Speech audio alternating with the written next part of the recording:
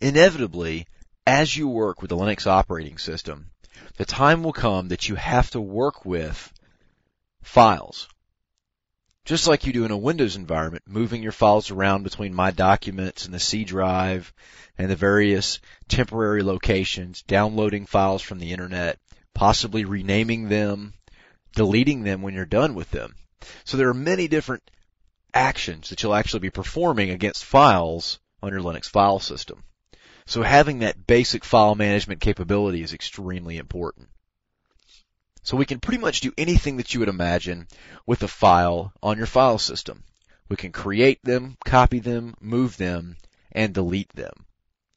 Now generally, you create files by using particular programs, such as the operating system, word processors, and other various applications most of the time those programs will create those files in their own particular file format. Now if you want to just create a file, such as for a placeholder, so that it's not overwritten, or just as an example, you can use the touch command. If you want to create a directory, use the mkdir, short for make directory command. Copying files is very simple. You can simply type cp the cp command can also be used to move a directory full of files or individual files at any given time. So in the example that we've given here, we're using the cp command with the old file name, and we're actually copying it to a subdirectory of our existing directory that we're working in to a file named new underscore file. Now all of these different commands have a lot of available switches that allow you to be flexible.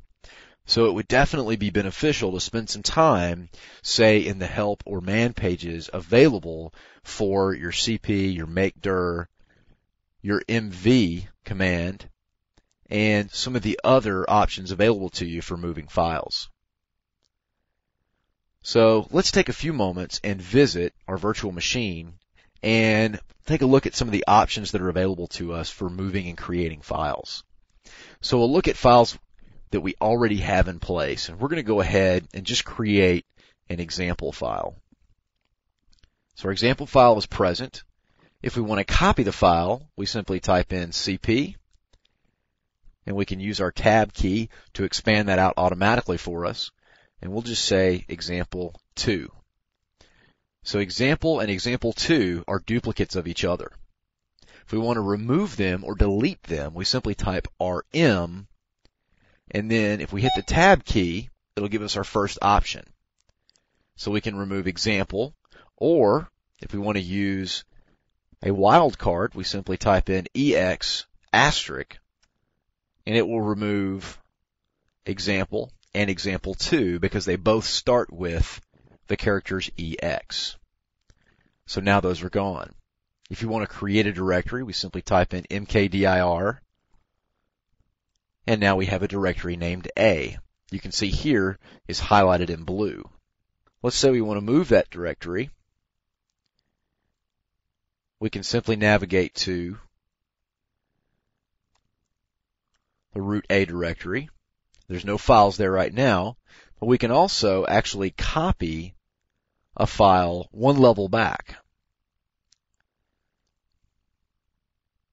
by typing in dot dot forward slash the file name and then the local file name. So now we've moved, or rather created a copy of the install log file from the previous directory into our current working directory. So as you can see, there are several available options that we can use to work with the existing files, create new files, or even duplicate files and directories that exist inside the Linux operating system.